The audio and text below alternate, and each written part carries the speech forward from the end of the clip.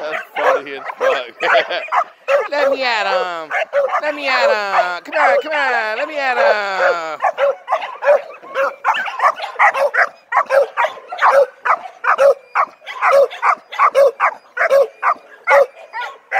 Rudy, you, would you really do that? Would you really do that? I think he would. He ran up for it.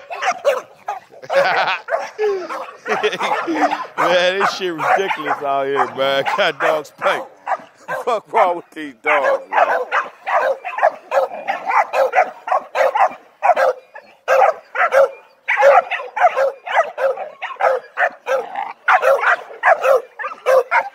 Come on, let's take him over here by Hacho and Pancho. Let's see, let's see how Spike act.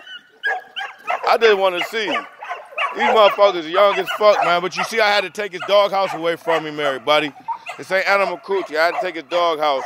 I'm getting him a new one built right now as we speak.